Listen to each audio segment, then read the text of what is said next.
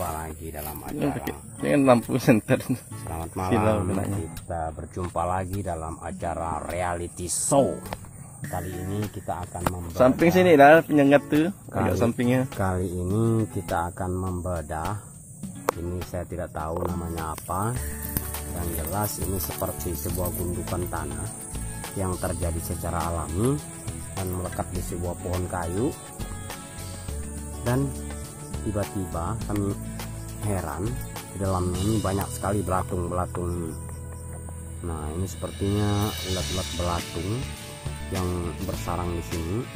Tetapi ini sepertinya ada indukannya seperti lebah. Ini lebah ini adalah lebah. Anda boleh lihat. Tuh di dalam situ tuh coba di yang bawah itu. Itu. Nah itu belatung-belatungnya itu ini belatung-belatung ini akan kami pungut satu persatu dan kami akan bawa ke laboratorium untuk diteliti lebih lanjut jenis belatung apa yang ada di dalam ini. Berbahaya atau tidak? apakah tidak berbahaya atau tidak bagi kesehatan manusia? Ya ini coba lihat yang saya sudah kumpulkan ini.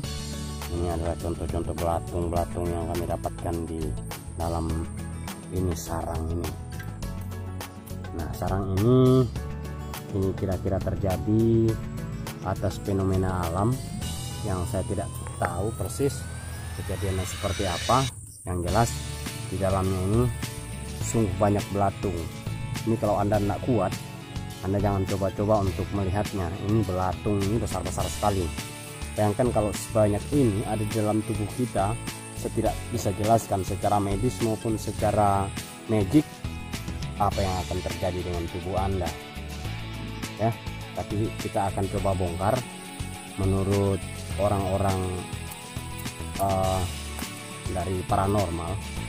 Biasanya di dalam ini ada besi kuning. Anda tahu besi kuning?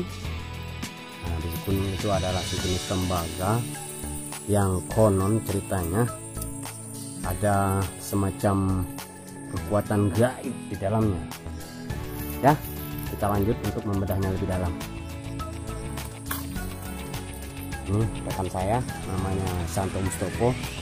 Dia ahli dalam menjinakkan binatang-binatang yang eh, menggila seperti ini. Dan saya adalah eksekutor apabila barang ini sudah dinyatakan aman oleh beliau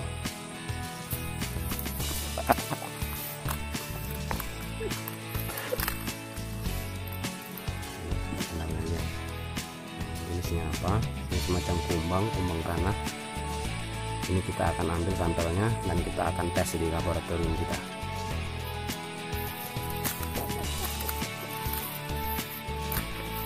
Tebang ya pohon tuh. Udah. nanti berantakan Pelan-pelan.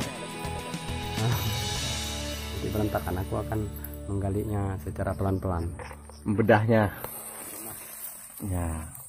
Terus. rumah kita pun dekat Kita tidak perlu berburu-buru kita malam ini ada tiga partisi. Satu dua tiga empat partisi. Kalau dalam sebuah itu partisi itu adalah mungkin paham daripada saya. Partisi itu apa? Itu adalah sekat-sekat ruangan yang boleh dipakai untuk menyimpan sebuah data. Nah ini di sini sepertinya ada data tersembunyi di dalamnya. Ini semacam modul simulasi sebuah program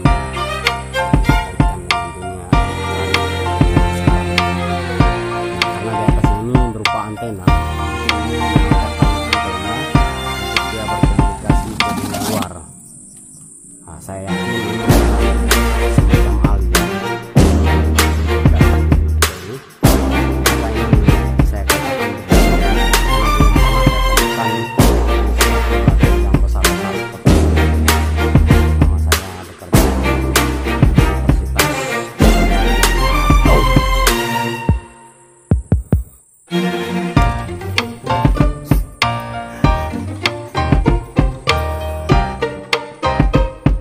Ya, saudari Santo Mustopo, saya rasa cukup demikian. Kita akan kemas ini barang. Kita angkut ke laboratorium. Oke? Oke. Selamat malam. Mantap.